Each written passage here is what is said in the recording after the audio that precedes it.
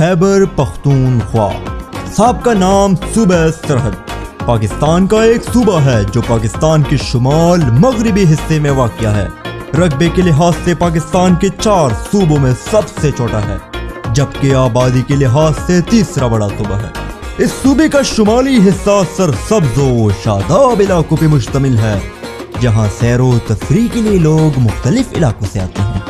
और जुनूबी हिस्सा शहरों पे मुश्तमिल है, जहाँ पाकिस्तान के बहुत से अहम इदारे और सनत मौजूद हैं। सूबाई ज़ुबान, पश्तो और सूबाई दारुल पेशावर है।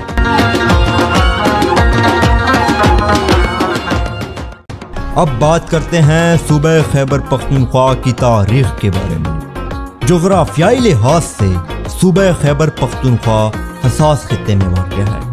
यही वजह है कि ज़माने कदीम में फारसी, मंगोल, मुगल, तुर्क, सिख, अरब, यूनान, कुशन और बरतानिया के हमलावर यहाँ लश्कर कशी करते रहे।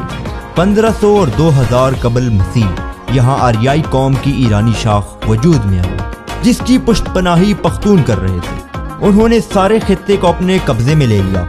आगाज़ सदी ईस्वी में इस खत्े की मशहूर तारीखी जगह वादी पिशावर ममलिकत गंदहारा का मरकज लेकिन कुछ अरसे बाद ये शहर कुशन की सल्तनत का हिस्सा बन गया।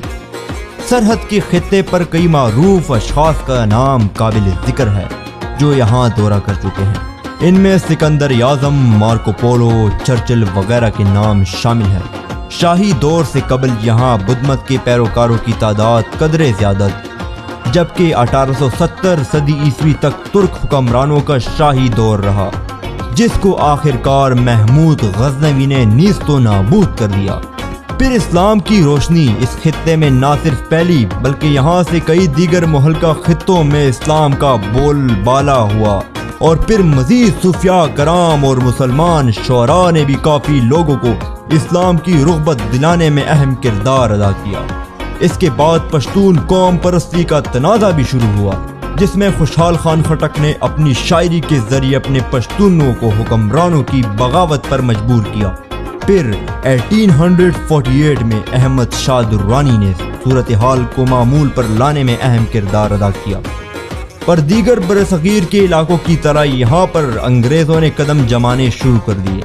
इस सिलसिले में बरतानिया और रूस में सरकशी शुरू हो गई और अफ़गानिस्तान की तकसीम का वाक़ 1893 में ड्योरेंट लाइन नाफिज हो गई और अफ़गानिस्तान का कुछ हिस्सा बरतानवी हिंदुस्तान में शामिल हो गया और पख्तून कबीलों में भी नाइतफाकी ने सर उठाया और वो दो हिस्सों में बट गए, लेकिन फिर भी अंग्रेज़ों को पश्तून लड़ाई में बुरे नतज और नुकसान का सामना करना पड़ा। फिर बरतानिया ने तकसीम करो और हुकूमत करो का फार्मूला अपनाया और कुछ हद तक कठपुतली पठान हुक्मरानों की मदद से बरतानिया को कामयाबी हासिल हुई। 9 नवंबर 1909 में बिल आखिर सूबे खैबर पख्तूनख्वा नवा सूबा बना और इसका नाम सरहद रखा गया।